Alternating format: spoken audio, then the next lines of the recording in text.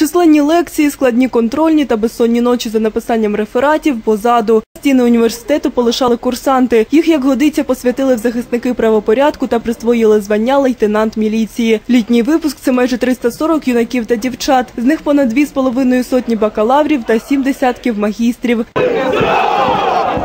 Віталій Черних – новоспечений фахівець для підрозділів боротьби з кіберзлочинністю та торгівлею людьми. Працюватиме в столиці. Це тому, що розробив програмне забезпечення, яким скоро послуговуватимуться чи не всі українські виші. Нововведення допоможе присікати інтернет-продаж наркотиків та незаконну торгівлю вогнепальною зброєю. Каждый человек же, ж, он пользуется активно сейчас интернетом. И он может э, с помощью нашей АБД Невод, автоматическая база данных Невод, а, может внести а, данное правонарушение а, в специальную базу, где будет сразу же, ну, сразу же придет уведомление по практическому подразделению в этой, территори- ну, территори- ну, в этой территории, а, где, собственно, после этого будет ну, проводиться ОРД. Саме головне це очі е, мала- молодих лейтенантів, е, прагнення, намагання що зробити. І Це саме головне. Ми бачимо вже більш такий європейський е, підхід до, до, до навчальних е, місць, до